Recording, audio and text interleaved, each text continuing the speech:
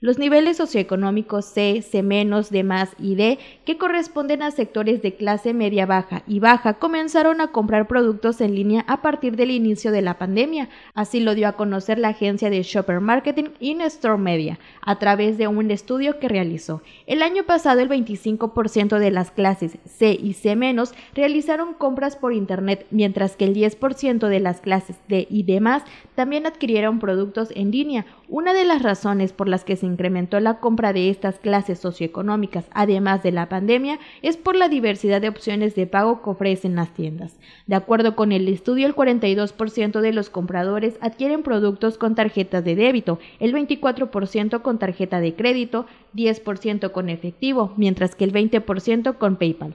Otro cambio en las compras es que se rompió la barrera de la edad, es decir, dejó de ser una actividad de jóvenes para permear en personas mayores. Con imágenes de Ricardo Vallejo informó para Notivisión Silvia Fernández.